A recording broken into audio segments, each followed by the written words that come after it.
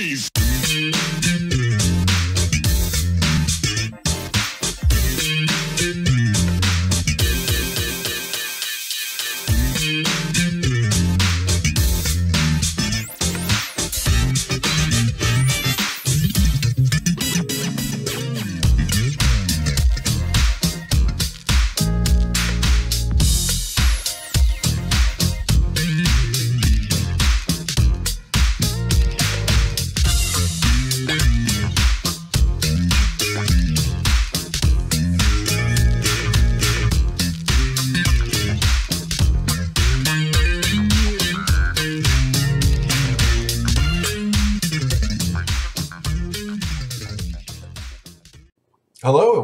To another edition of Truth in Rhythm. Brought to you by FunkNStuff.net, this is the interview show that gets deep in the pocket with contemporary music's foremost masters of the groove. I am your host, Scott Dr. GX Goldfine, musicologist, creative arts journalist, and multimedia pro. Whether you're watching the video version of this show or the audio only podcast version, I thank you so much for your continued interest and support in this show. If you enjoy this programming, there are several ways to help support Truth in Rhythm, as well as contribute to further enhancements and expansion, plus get some sweet perks and rewards in the process. First, subscribe to the Funk and Stuff channel on YouTube, which is where Truth in Rhythm lives, and be an advocate by spreading the word among fellow funk, jazz, and R&B music lovers. Second, join Truth in Rhythm's new membership program through Patreon, which features three tiers for truth believers, truth seekers, and truth crusaders. You can also submit a direct donation to the cause anytime at funknstuff.net. At that site, which is loaded with awesome content, you can also purchase the book Everything's on the One, The First Guide of Funk. Shop for official Truth in Rhythm and Funk and Stuff merchandise, and use the Amazon links for all of your online purchases, which allocates a percentage to this show. Sponsorship opportunities are available as well. Contact me directly at scottg at funknstuff.net. For those of you who go the extra step in supporting the show, you have my heartfelt gratitude for allowing us to continue to shine the light on those special artists whose quest is to find truth in rhythm.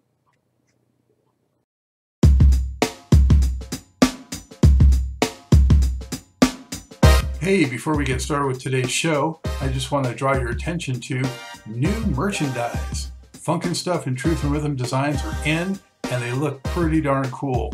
So show your support, help support the program, and show off some stylish merchandise and apparel. Only at the Funkin' Stuff store.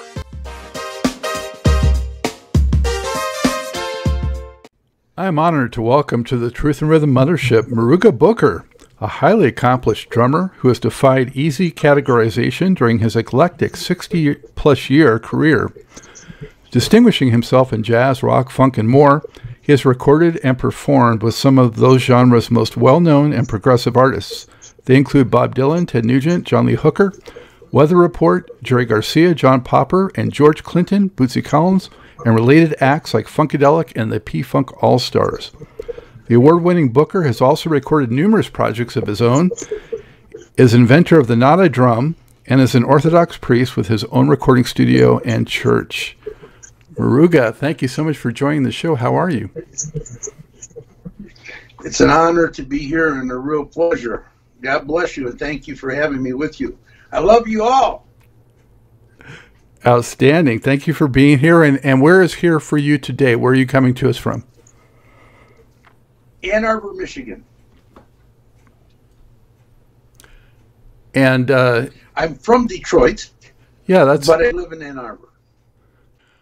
So, what was it like growing up in that musical hotbed of Detroit? And when and how did you first gravitate to music? Oh, okay. Well, uh, it's an unbelievable story how I first gravitated to music. You probably wouldn't even believe it, but uh, I'll give it to you. when my mother was pregnant with me, and I was in the womb, she had something like a very bad cold or the flu. In those days, in 1942, they didn't have cough drops, so they would take Vicks vapor rub, put it on the tongue, and let it drip down. And as it dripped, I could smell it coming in the birth tube. And I knew that the burn would come from the Vicks. The next time that happened to me, in a noetic way, it was like the spirit directed me to the inner light in my forehead. And I became I was aware of myself inside myself, with my eyes closed in, in the womb inside myself, in my own being. And in a noetic way, because you don't have a language. I knew that if I went into this light, somehow I wouldn't feel the burn. Because the burn burned from the Vicks on my forming skin. And I, I would kick in, you know, in the womb. So I went into the light and I went out of my body beyond, and I didn't feel the pain. Now, getting to the point, the next time this happened to me, my mother, I found out years later, used to go every Saturday to the Latin Quarter to hear Panchito. And so in the womb, I smelt the fume coming, but other fumes too. She was drinking alcohol, and I think I was getting a buzz in the womb. I think I got a buzz in the womb before anybody got a buzz, you know, and but also the buzz of the light. And I went into the light, and as I was going into the light, I heard doodle doodle doodle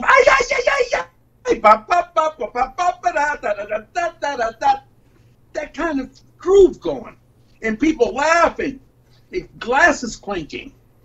Well, years later, I found out that was Panchito's band, and actually, at the uh, last uh, concert of Colors, I played with Panchito's drummer, and he told me that he they played at the uh, at the Latin Quarter all the time, and that Panchito was from Detroit. And He played with Stan Kenton, and he was an educator.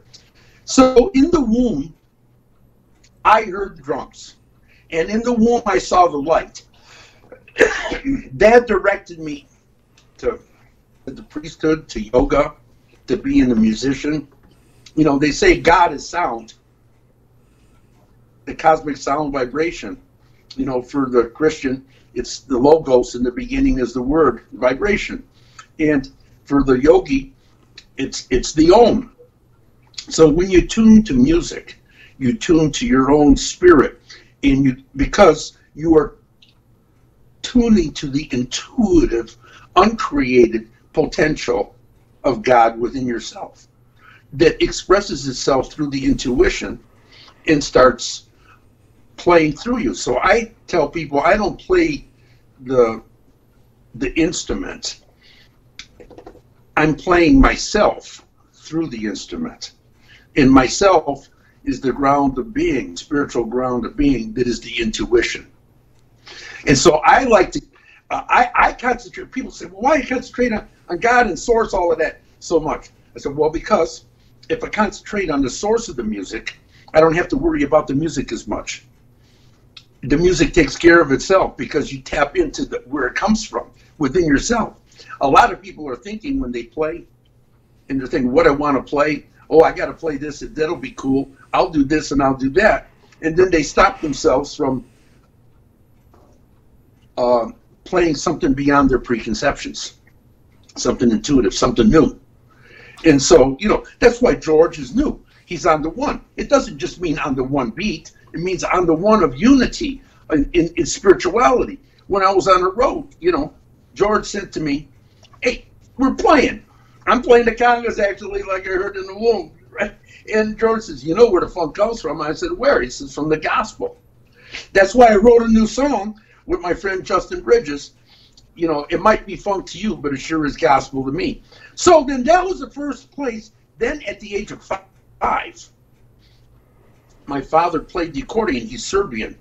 And he played the accordion in the kitchen. And I'm in the kitchen along with my mother and my father and me and he's having a coffee, and uh, uh, he's playing the accordion, and it had rhinestones on it. said Bookfish with the rhinestones, and he's pulling it. And well, I mean, that was like a psychedelic trip to see those rhinestones and the accordion going back and forth. And what better thing can you have than the father's love playing dance music, kolo dance music in your kitchen, and your mother holding your hand dancing in circles? That's ecstasy. I would go in trance and just. Then a week later, my mother put a pencil in my hand and she says, "Here's how you do a stick figure." And I said to her, "I was only three. and I said, "No, uh, people are not sticks; they have a shape." So I was already thinking form and all of this kind of stuff at the age of three, three, four, and five. Right? It was actually three when I saw saw my father play the accordion. Around five, I'm listening to the uh, radio. Put another nickel in in the Nickelodeon. All I want is you and music. And then, you know, uh, come take a trip on the magic carpet, the magic carpet of your dreams. You know, I start saying, well, the carpet of my dreams, you know, music, you know, and that makes me feel so good. You know, so that was all just instilled. And then I would go to the Serbian hall, and while these guys would be playing Kolo circle music, you know, it's it's gypsy gypsy circle dance, Serbian gypsy circle dance, you know, like, and they all do it. You know, the the, the the the the, uh, the uh, uh, Jewish do the circle dance, and the Turks do a circle dance. And this circle dance, it's not a sexual dance. It's man and woman holding hand in hand, going in circle and dancing in the energy of life. You know, uh, the other dance is the polka or the rumba or the cha-cha or the waltz or something. I hold you close. You know, that's more sensual. But the circle dance it's it, it's this energy where people are dancing in a circle fast. And they're dancing in that circle, and it gets uh, frantic, you know. So that's where I got my uh, early, early stuff. And then in Detroit, of course, you know, I would go to the Butcher's Club and hear all of these accordion players in the coffee houses with my dad. And then you hear the blues guys, you know. Well, when I heard Little Richard on, on, on my little transistor radio, uh, you know, sing Tutti Frutti. I was done. I said, I got to play rock and roll. And I, by that time, I was playing accordion because I started playing accordion at the age of six with my teacher, Misha Bishkov. I got a picture here. Misha. Good old Misha. You know, he had the Warsaw Music Store on Hamtramck, right? It, there he is, see? Misha. In the Warsaw Music Store, Hamtramck. And Gene Krupa used to come in to see him, who played with Benny Goodman, the famous drum soloist. And Krupa used to come in and get tips from him because Misha had that gypsy klezmer, Jewish Russian, traveled through China. He was very well versed. He was more avant garde and maybe the first kind of Jimi Hendrix that there was. Why? Because he had a 10 foot accordion, a 10 foot accordion with a ladder that he had to crawl up and down. It was on wheels, and his wife had to pull it. You see? And he walked up and down and played it. But when he came out on stage, he would come out with his hands behind his back, holding a concertina, playing the Flight of the Bumblebee. And most people can't even do that with their accordion in front. He's playing it on a concertina in the back of his body. They don't even know he's got an instrument, but they're hearing the concertina. So he had that kind of vibe and he played brushes, and he tied them to rubber bands. So he'd be playing, and then he'd throw a brush at you, and just when you think it's going to hit you in the face, you pull it back with the rubber band. You know, when people were standing close to the stage, right? So he he had a sense of outness. You know, he juggled, uh, you know, tambourines on the stick while he was playing the drums. You know, uh, he, he he was out of box and that was all my really early influence. And then don't forget, Bill Haley and the Comets come from around here. You see, in early rock and roll in Detroit, and then I started uh, listening to the Thunder Rocks, and then I played with the Low Rocks in 1958. I joined the Low Rocks, and we were playing opposite Ronnie Hawkins and the Hawks, and, and, and the Supremes and the Shirelles, and all of that by the 60s, you know, with the Low Rocks. And so we had a hit in five states. I, am 16 with a hit in five states, playing for 3,000 screaming teenagers in 1959 and 60, right? So I knew then and there that was my life. I wanted to be a musician. Wow. That's it. Yeah. I mean, that's such a great uh, background of the being a vessel, you know, for the force of music to just flow through um, as this kind of universal shared energy. Um, It, that's exactly what it is. It's a universe. I tell people we're a cosmic organism. See, that's why George says we're on the one. We're on the one. I believe it. I mean, nothing. One cosmic organism. Nothing is more spiritual to me than than the you know the effect music has. So I, I'm with you. Um, what? How did you end up settling on drums? Well, uh, again, I heard the drums in the womb. Right. So I was always attracted to them. But getting turned on to the accordion first, that I saw that first before a drum, I started accordion at the age of six. And I played it till 14. And I was trying to play, I instead of Serbian songs, I was trying to play I Walk the Line. Yeah. you know, Johnny Cash. You know, it's the and one day I'm walking down Seven Mile Road, and I see a car go by. It says accordion players go to jail. And then I saw another one that said accordion players go to hell. And right then, you know, I saw it on these bumper stickers, you know, going down the street. And I said, my God, I'm playing the wrong instrument. They don't like accordion. And so then I said, I need to pick another instrument. And I was in in grade school, you know, the seventh, eighth grade, and I said to myself, I got to pick it now. And I'm not going to do anything else in my life until I find out what instrument I want to play. So then I would go to the park and I'm going, love me tender, love me true. And I'm on a swing and say, nah, I'm not going to be a singer. you know, you know, uh, the, the, the, you know then, then I started thinking guitar. You know, I says, well, you know, that's a lot of strings and all. You know, I, I just don't, I, I don't get it right off the bat. You know, I'm young, I'm 14, you know, and uh, I'm thinking, what, you know, did I go to the I go to the uh, Yard Armory and I see the Low Rocks, the band I ended up making the hit with. This is just before I saw them playing and 3,000 kids screaming at them. And I said, I want to play the drums, I think. And then I went to Nolan High School and I'm dancing at the sock hop. You know, they had the guys there. I Boo, I I Boo. I went to Chinatown. Yeah, I didn't know Boo was talking about grass. They were just saying, Ling Ting Tong, I want to sing the song, I Smoke and Boo. And I'm doing the chicken, and my hands are going like that, and my feet are, and I noticed that my hand was hitting the cymbal, the right hand was hitting the cymbal when I was going like that, and my left hand was on the back beat, and my feet were in, in sync with the bass drum and the sax cymbal to dance, because music is to dance to as well, you see. Hmm. So I noticed that I'm sort of like playing air drums when I dance, like guys play the air guitar. I'm playing air drums, man, and I'm dancing and I'm going like that. And then I saw Jim McCarty from the Wheels, the guitar player from the Wheels. He played with Buddy Miles and Jimi Hendrix and uh, you know, Cactus, but he was a drummer before he was a guitar player. And I saw him do a drum solo you know, it was a Gene Krupa kind of drum solo. And then that sort of ticked it off. I says, yeah, uh, Misha plays the drums. My accordion player plays drums. I'm going to get him to teach me. And he taught Gene Krupa. So I started playing the drums. Well, my father said, if you bring a drum home, you and your mother are both going out. and one day I got my dad a little teed off. I was on a bike with the siren. I wanted to see how loud it'd go with 30 miles an hour.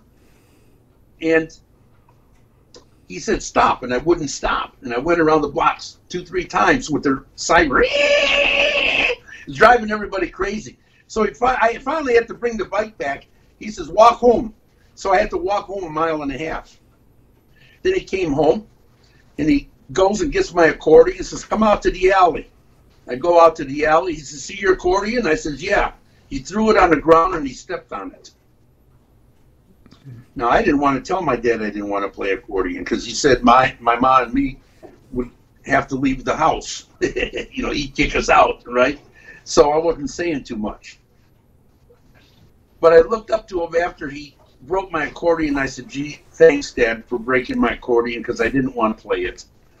I want to play the drums. You and your mother are going out if you bring in a drum. You know, well, my dad wanted to play the accordion when he was a young boy in Serbia because his mother had a nightclub where famous singers came. She had a hemp farm, a poppy farm, a nightclub, and a place where you stay overnight, like a hotel. And hit songs were made in her nightclub, and they made their own Slivovica whiskey and wine and all of that, right? And he wanted to play, but all the accordion players, you know, were lushes. They like to drink a lot of Slivovica. And she says, You're not going to be a musician, you're going to be a shoemaker. So he hated her for that. So he went to his accordion teacher, which was my accordion teacher, and also uh, my drum teacher. And, he, and Misha says, Melvin, you're not letting your son play the drums. He says, if he brings home a drum, him and his mother's going out. He's got to play accordion. You can't play a wedding with just a drum, but accordion player can play a wedding by himself. You know, that's how he was thinking, right? And my and my teacher says to him, Melvin, how do you like your mother?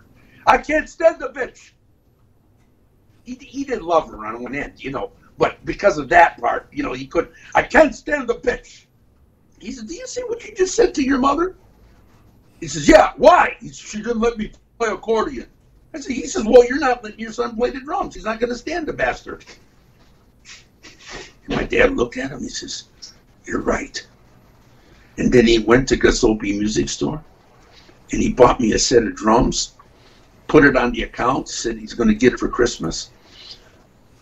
Bought a set of sticks and a music pad, and brought it home. And I come home in after school, and I'm looking. I can't get in the door; it's locked. And I see through the screen door that there's a drum pad and some sticks on the table there. Man, my heart went boom, boom. Where did that come from? And my dad says, Okay, you can play the drums, damn it. He says, No, I bought you a set of drums. It's October. He says, uh, Do you want them now or do you want them in December for Christmas? I says, Now. I'm joining the Low Rocks. You know how I joined that band that I saw I saw playing and I said I want to be with those guys? I was at Big Boys on Eight Mile Road eating my big boy, and a dude came in and said, Bro, the Low Rocks are down the block about a half a mile from here having a party. Let's go crash it. That's the band that I saw. I said, I want to go. I want to go see those guys. So I went, and just as I opened the door, I went to open the door, knock. I was knocking on it. The door slams open. Out comes the drummer of the Low Rocks. Say, screw you all! I quit the band. And he walked away, leaving his drums there. I walked in the basement, and the guitar player says, "Is there a drummer in the house?" Because they were ready to play the party, right? I says, "I'm here." I played the first set. They said, "You're in the band." Within six months, we recorded and made a hit record. Five states got up to number one, from top forty down to number one. Jack Scott, uh, you know, uh, we were playing Jack Scott's barn. Uh, Tom Clay was playing us. Lou Reed, Jack the Bellboy, all of these guys were playing our record. CKLW, XYZ, JJZ, uh, you know, all of the big stations were playing it. And I went to, within that year, I went, next time I went to the big boys, I heard the song coming out of the speakers of radios and cars, 20 cars in the big boys, and they're all playing my hit. And I'm there having my big boy. You see, now it wasn't because of a manager. It's because of it's meant. It's meant. It's the vibration. You know, if, if you're meant to do it, if you tune to what you like and what you love, it's going to happen. Wow, went full circle right there. Um, so mm-hmm. let's uh, let's uh, shift up the impetus to not never quit. Absolutely. Okay. Yeah. What? I said absolutely. Yeah. Let's let's um, shift forward a little bit. Um, and you know, I mean, you've played with so many people, but um, let's touch on some highlights, um, like John Lee Hooker. You know, how did that come to be? at the chessmate. Well, number one, you know, I'm in high school, you know, play, starting drums and stuff, and I got my own little transistor. You know, it's about the size of a cell phone. you know, I'm rocking around like that, you know, and I hear, you know, boom, da-dum, da-dum, da-dum, da-dum, da-dum, ow, ow. And I hear John Lee Hooker on the radio. And I heard that John Lee Hooker and Jimmy Reed and Howlin' Wolf and Muddy Waters uh, before I heard anything else, you know. And, and so those guys were my heroes. So now I'm the house drummer in the house band at the Chessmate. And they used to give me the nickname Boom Boom Booker. So now John Lee gets booked at the Chessmate. Now I, I told you about the early days of listening to, so you know how much I loved Hooker, you know, and and now I'm sitting at home. I just did a song. It's actually on the Booker Bridges the Light album, and, and it's called "Paid Your Dues," and it's about meeting Hooker. So I'm sitting home with my mother's house. I'm sitting in the living room, and I hear the phone go, ding, ding, ding. I said, uh, hello. It says, this is Hooker. Is Booker there? I said, this is he. He said, well, well, well Maury Wattenbaum told me that uh, you're Boom Boom Booker and that I play Boom Boom and that we should get our booms together and play live blues at the chessmate. I said, sir, you're my hero. I'd be honored to play with you. He said, come, come tonight because he, he stuttered. You know, sometimes, you know, when you would talk to him, he would stutter. Never when he sang. You know, uh, uh, uh, you know, he talked sort of like that. I think the stutter was sort of part of his uh, blues slang. you know, what you gonna do, tonight? You know, well, he says, come down to the chessmate. So I went down. My drums were already there. I'm the house drummer. I'm sitting there waiting. I remember the door opening up. Here he comes in with amp and a guitar. Right now, you see guys that you know they come with a big van, a big truck. Everybody's wheeling it in. And, you know, this guy is coming ten minutes before the gig with a guitar and, and, and an amp out of a taxi cab. He said, blah, blah, blah, blah. I pulled the taxi cab to bring me down to Livernois in Six Mile Road. And here I am. And then he comes up to me and he says, Now, he says, Booker? I said, Yes, sir. He says, You're you're playing with the hooker. Wherever I go, you go. And what he meant that in those early days, because he wasn't playing with bands too much, sometimes just because he wanted to, he would turn the beat around. You know, doom to john to doom to john to john to boom to john, you know, it would turn around. And so he said, you know, if I turn it around, you turn around. If I don't turn around, you don't turn around. Wherever I go, you go. I said, yes, sir. Well, so then I started developing a style that didn't play the backbeat as much. It was playing the bass drum, boom, boom. And then my instead of going boom to ba, boom to ba, I would go bam, bam, boom, boom, boom, boom. And then if I saw he had it locked in, I would start accentuating the backbeat. And then if he turned it around, I take the backbeat away. But I just keep the same momentum. Right? After a while, that didn't happen anymore. Uh, we kept right in time and we grooved. You know, he got out of his folk uh, solo bag, you know, and, and, started getting in that groove. So we were the first, I, they booked us there, Hooker and Booker. We were equals, Hooker and Booker. And I used to hire him to come and jam with me at the for fifty bucks. I would get him to come and sing three songs. At, eh, you know, down down at the uh, red carpet. you know, then I played at the twenty grand with him in different places like that. So, it, it sometimes it was just me and him. Sometimes his sons and me, his son and the friend, and then other times my band. My horn player played with Charlie Parker, so he was a real cooker, you know. And uh, uh, so we he we were the first white rhythm and blues jazz rock band that he played with. So by the time that was from 65 to about 70, 71, on and off. So when he went to California and met Canned Heat, he was already used to playing with us guys, you know, with the white, you know, more of a heavy metal rock sound on the guitar. Though our guitar player could play anything, you know, it, but we were giving him more of a, you know, more of a Canned Heat sound, you know, uh, than the old-fashioned blues sound, you know, because that's where everybody was at that time. Then he went, and when he went with canned heat, he felt very comfortable with that because he was used to that with us, and that's sort of how the hooker thing came about. I call him the Godfather, uh, uh, my Godfather of blues, and he drank Chivas Regals. And so I said, you got to respect your teachers. You got to respect the elders and the teachers. So, you know, I said, sir, what do you drink? He said, I drink Chivas Regals. So when I came to the gig, I had a pint or a fifth of Chivas Regals. And I, and, and, and I come up to him and I say, sir, thank you for letting me play with you. Here, you sit down we'll have a couple of shots and then we'll play the blues. right? It's very, very um, uh, moving. Then later on, I realized, you know, that he was a juju man. He, he was a spiritualist, the juju man. Look at his last album, The Healer, right? Mm, yeah. That's what, you know, because he comes from the African healing juju tradition. John Lee Hooker.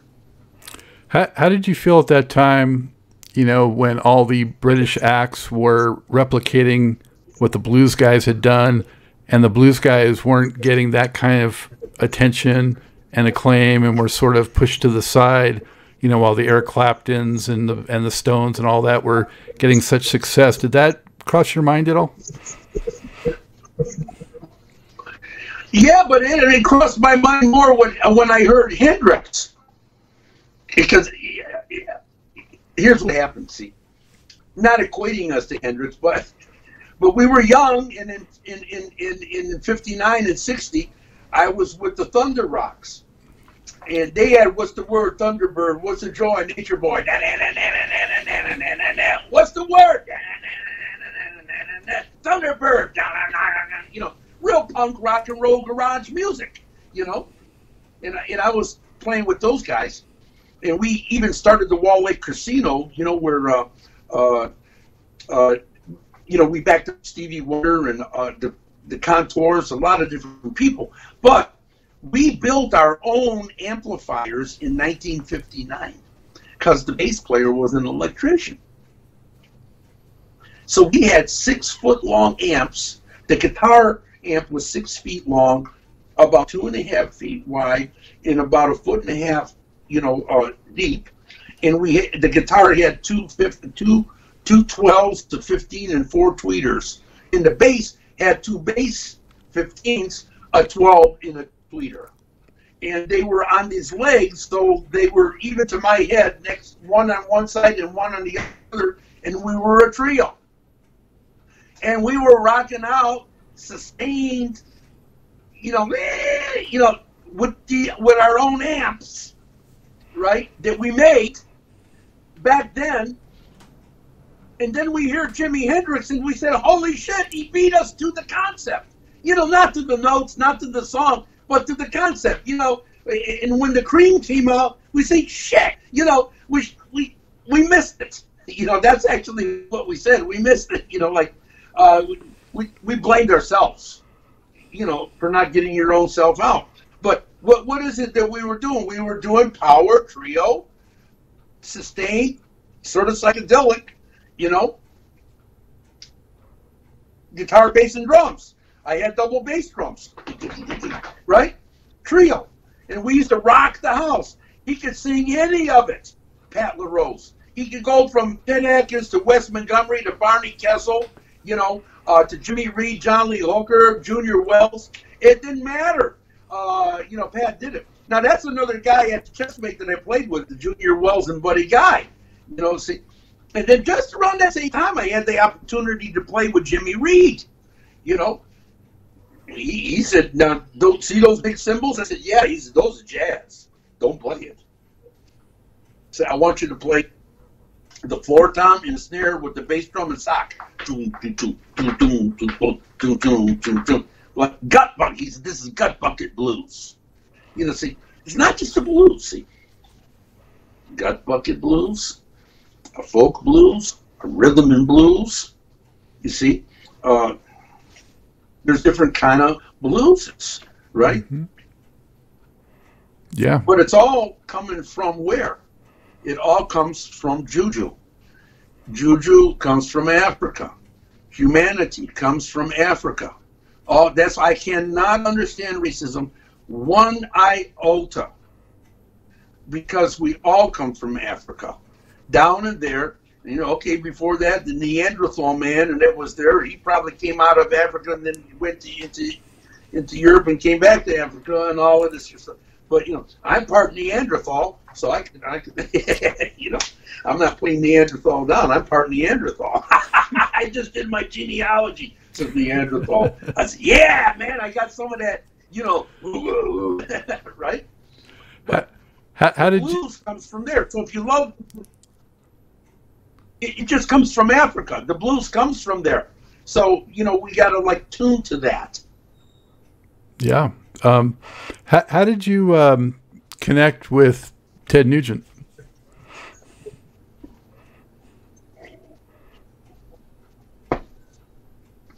We were all rocking at the same clubs at the same time. Because I was the house drummer at the Chessmate, the Chessmate was putting me in the Free Press and News, both papers, twice and three times a week ads. And I began to be a pretty famous drummer in 65 to 70 in Detroit. And on top of that, I was playing along with Hal McKinney, his band and my band, after I was at the Chessmate with Jack Sorrell, WJZZ, which I'm thankful WJZZ uh, just gave me the WJZZ award. It came full circle, right? Yeah, right. There but, it is. You know, thank God for that. I, I was known and playing a lot of the uh, the places like the East Town, the Chessmate, the Grande, and playing these places. I had a chance to meet Nugent and jam with them, and we got to be good friends. And so everywhere he would play, I would jam with him. Excuse me. And um, I even remember playing with Nugent in Livonia, and after us came on Iggy Pop. So at that time, we were playing these clubs. They were big clubs, the Pumpkin and the different places. Nugent was playing there. Bob Seger was playing there. Alice Cooper. They were all just starting off. Alice Cooper was just starting off, biting off the heads of rubber chickens. you know, it was all just starting off. This this whole kind of music was happening. It was just happening, and we just happened to live there, and we were part of the people that were part of that happening. In in wonderful Detroit is a melting pot of you know blues and rock. Elvin Jones, the Jones brothers, you know, Elvin from Coltrane comes from, you know, um, Pontiac, you know, from the Michigan, Detroit area. And, you know, Bill Haley in the Comets. John Lee Hooker was here. You know, all of these, uh, Motown. And then with Motown being here, it, it was a, um, it was a fantastic energy that was going on because there was hundreds of clubs. I could go to five or ten clubs in one night, do drum solos, and make money at each one of them just doing drum solos. So, you know, that way I met Nugent, jammed with Nugent, and we got to be very good friends. We're still in contact. Uh, actually, he used to jam with me, and my old, uh, I used to do a riff. No.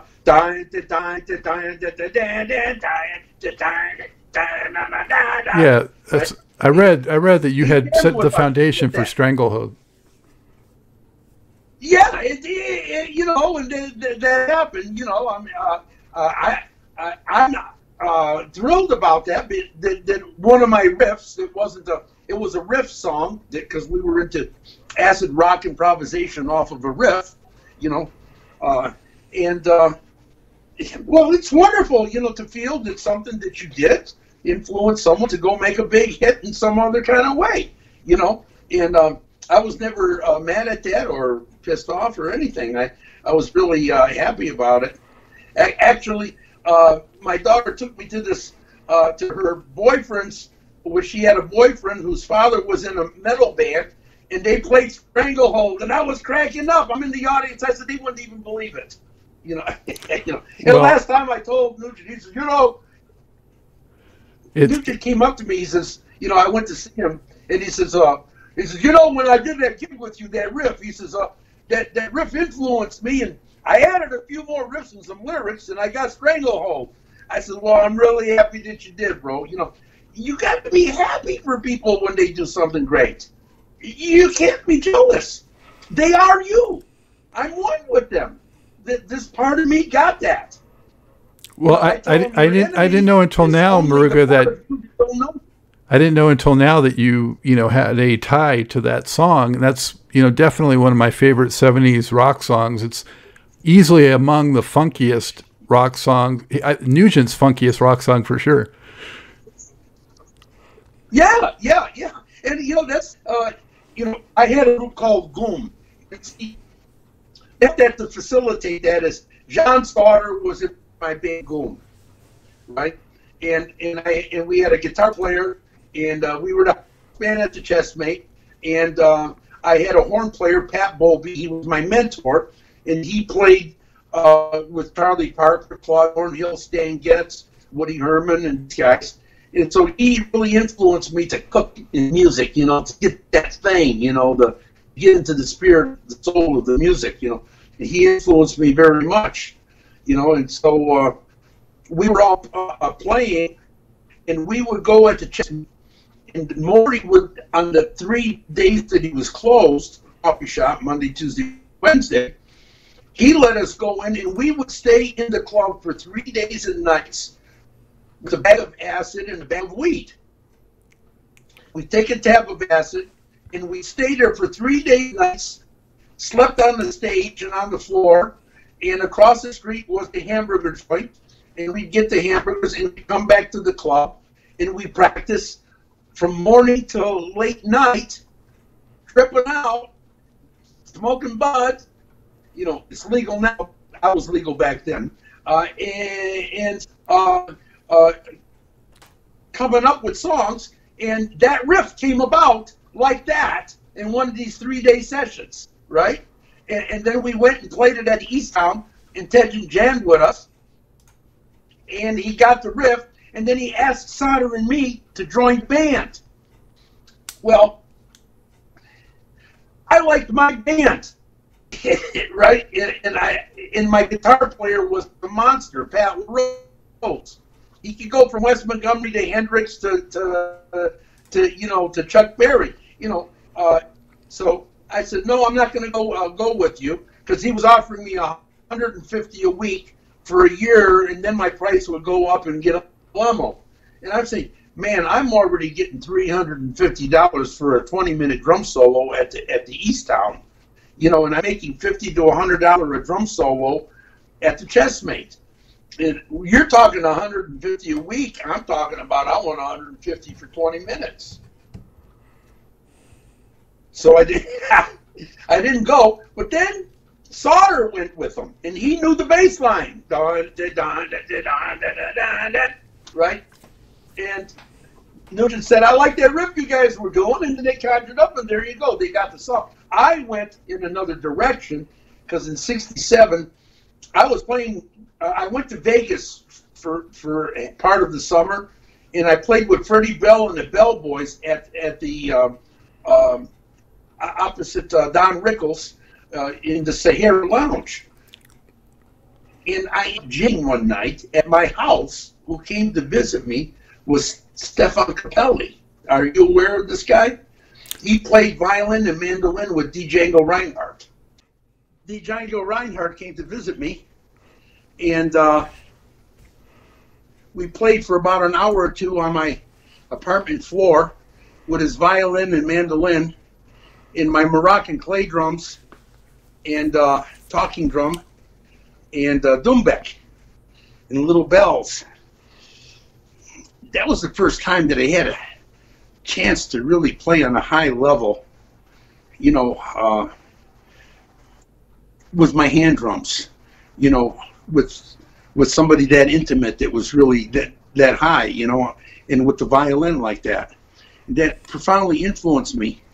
So I I then got initiated into TM. This was in '67, and I came back to Detroit, and I was going to go with uh, Rusty Day in Detroit, but then I kept on saying, man, this, you know, this, this Stephane Grappelli, this, you know, real subtle stuff you know, I, I, I got attuned to that.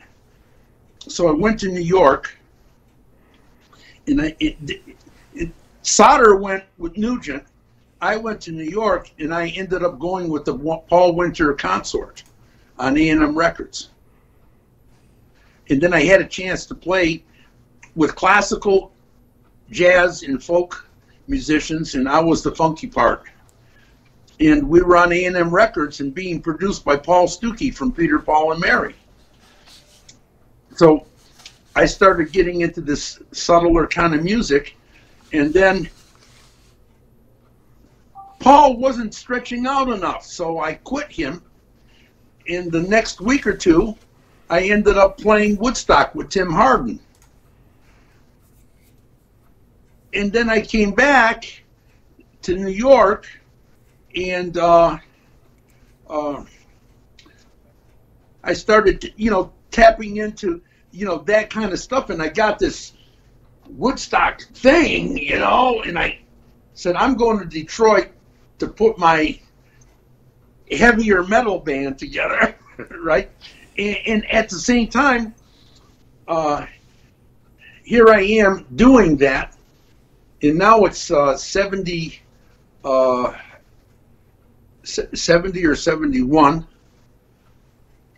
and I'm on an acid trip, and somebody comes to the house, my friend Betty, and she says, We're going to New York. So I'm on an acid trip. I said, Okay, I'll go with you. And I just hopped in the car. At a gas station, I saw a book, The Crest Jewel, of Discrimination, talking about the third eye, and I read that all the way up to New York on an acid trip. I get to New York to my friend Perry Robinson's house because that's who we knew.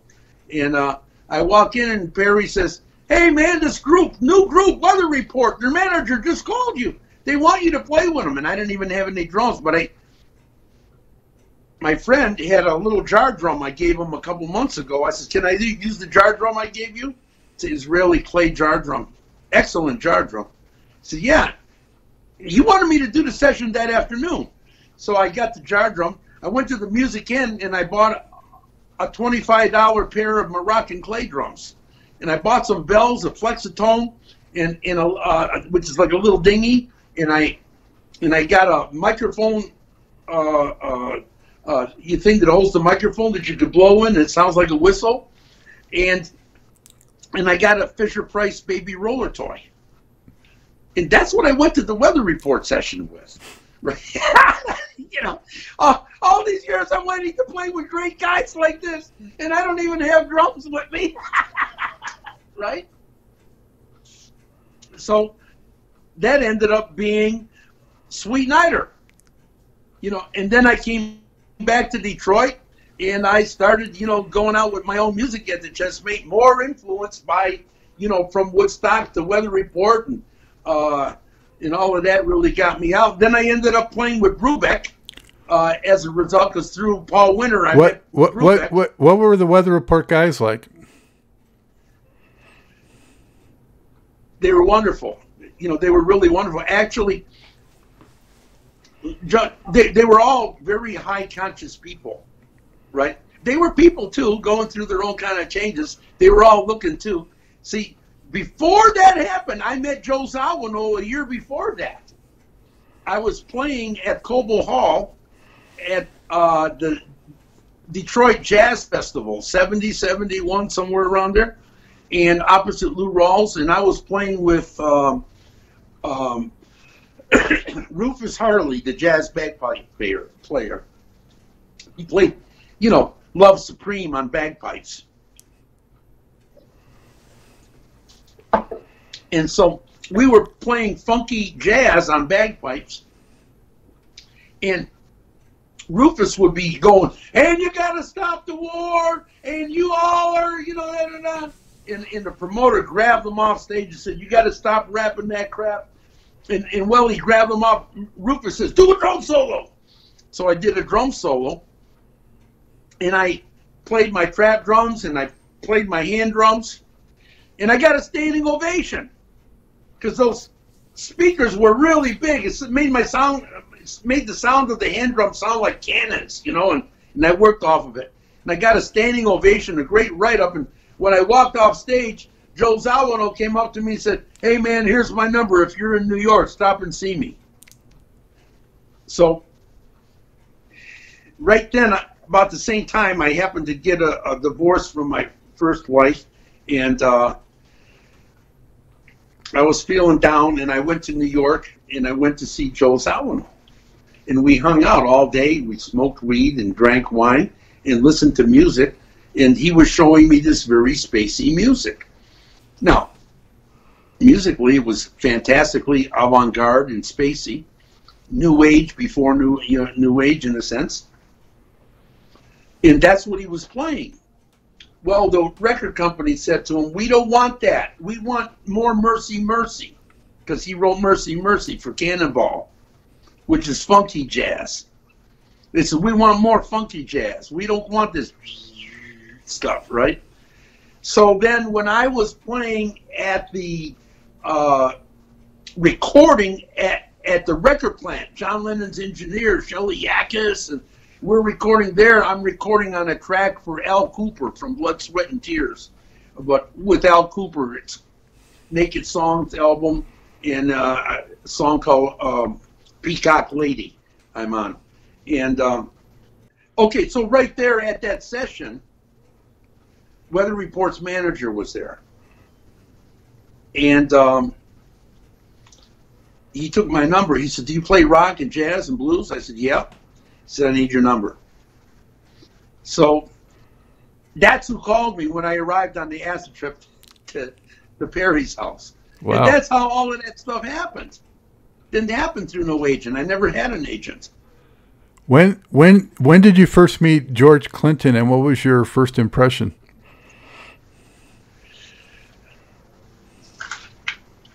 Again, I met George Clinton at the Chessmate, and I'm at home, and Maury Weidenbaum, the owner of the Chessmate, calls me up and says, "Hey, man, you got to see these guys, man. They're really weird. I mean, they got weird sunglasses, real big sunglasses, and big hairdos, and they're funky. You got to come down." They were setting up, you know, and practicing. It was George Clinton's six-piece group. That was the group. Whoa, that was the stuff, man. That's the tit. you know, and I went down there and I said, "Holy shit, man, that was really groovy." But what I didn't know is at the same time, George was coming to see me play at the Chessmate and going to see me play down at Baker's Keyboard Lounge, and he really liked my playing. So now, one day in the 70s,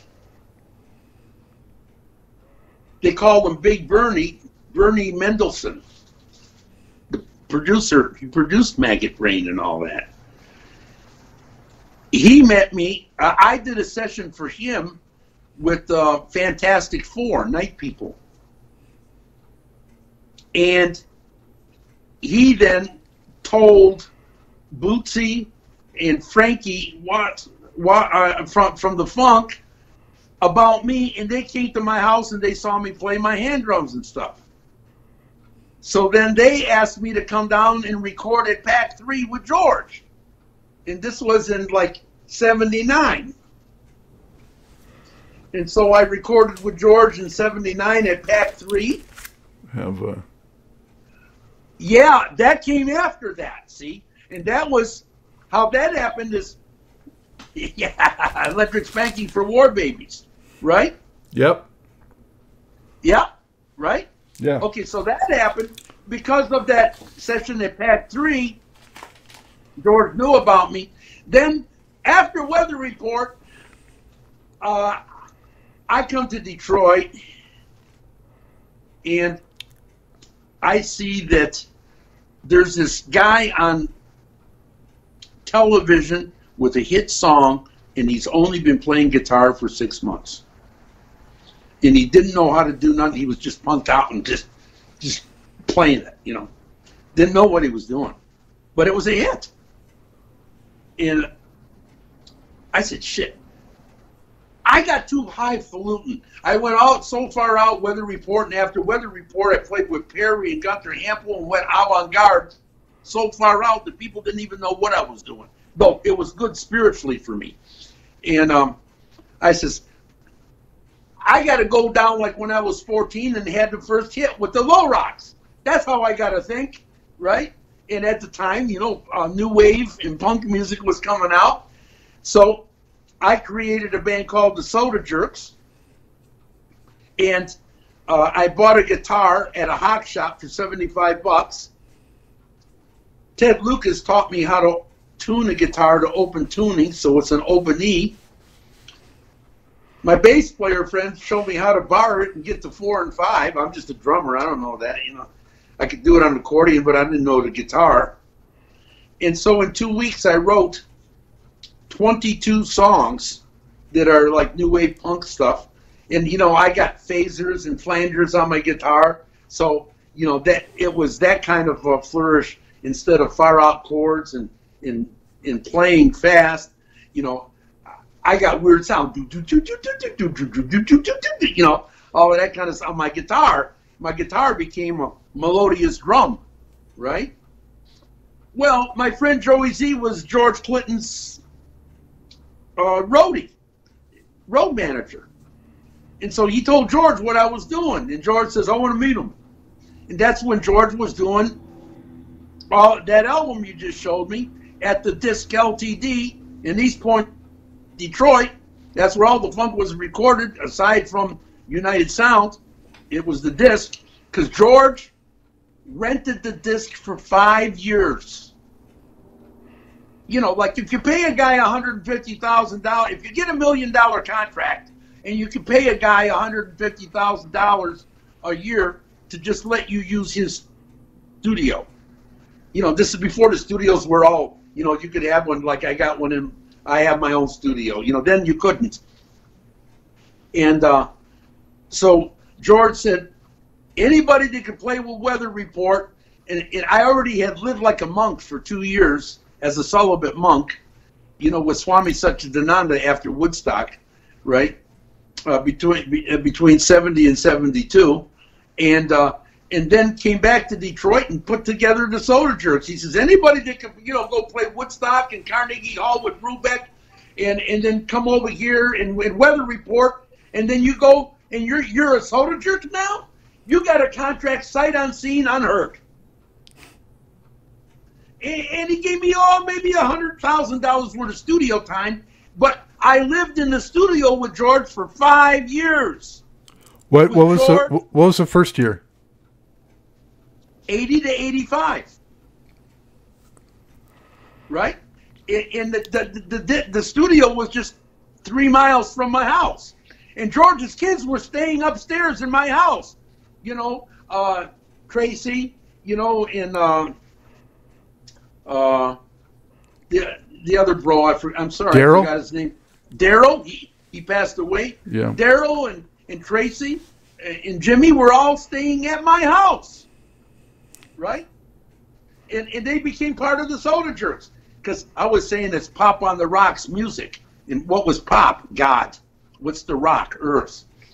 George thought that Soda Jerks meant the soda in the freebase. right? So you, you, see, the olden days, you could say one word, two words, and one group of people is going to think you're saying this. The other group of people is thinking you're saying that. Open that's to interpretation. Yeah. yeah, that you could leave it open to interpretation, right? So I became the Soda Jerks, and he he nicknamed me Doctor Jerkenstein, and, and, and said that you're a lifetime P Funk All Star. And so now I'm there. I am on their site, uh, you know. But I did all of those albums because I was doing my own album. He said you could have anybody you want, but I didn't want anybody that knew how to play an instrument playing in my band. You see, because I didn't know how to play the guitar. So I put my wife on drums. She sings. So you got to play the drums. I did take a bass player that was a bass player, but he was a jazz and classical bass player and very straight and, and very astute. So I made him be the bass player for the Soda Jerks. right. So he was like in a domain that he was not used to. And that's what I wanted. I wanted the newness. Uh, you know, I didn't want to approach it like I knew what I was doing. That's the punk to, approach right there. Yeah, that's what I wanted, yeah. right? And that's what we did. There's much more to this great Truth in Rhythm interview. Just continue on to the next part of the episode. Also, be sure to subscribe to this channel. If you've already done so, please share it with friends. And become a member by joining Truth in Rhythm on Patreon or consider donating at funknstuff.net. Thank you very much.